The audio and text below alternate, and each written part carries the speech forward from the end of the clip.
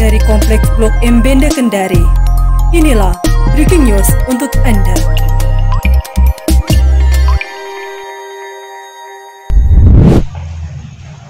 Assalamualaikum warahmatullahi wabarakatuh Bapak, Ibu, Saudara-saudara Masyarakat Sulawesi Tenggara yang kami hormati Pada hari ini Kamis 16 Juli 2020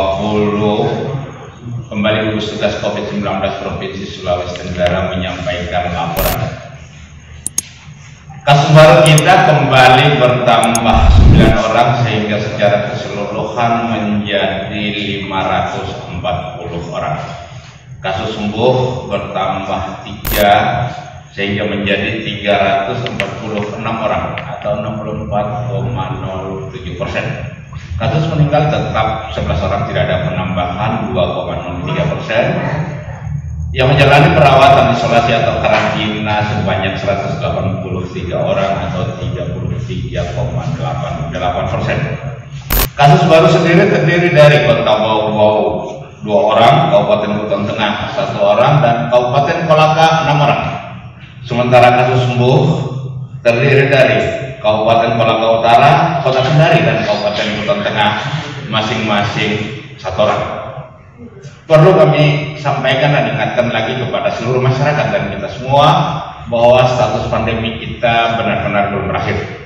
Penularan dan penyebaran di tengah-tengah kita masih terjadi.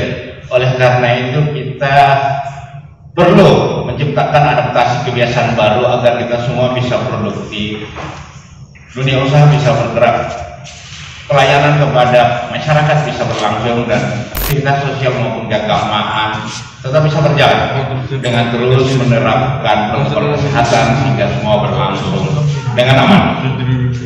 Untuk seluruh jajaran gugus tugas baik provinsi maupun kabupaten kota diharapkan untuk terus dan terus melakukan edukasi, penelusuran dan deteksi sampai status pandemi ini dinyatakan telah terkendali atau berakhir. Demikian yang bisa kami laporkan. Tetap saling mengingatkan, saling menguatkan dan saling mendoakan. Bila itu wal hidayah. Wassalamualaikum warahmatullahi wabarakatuh.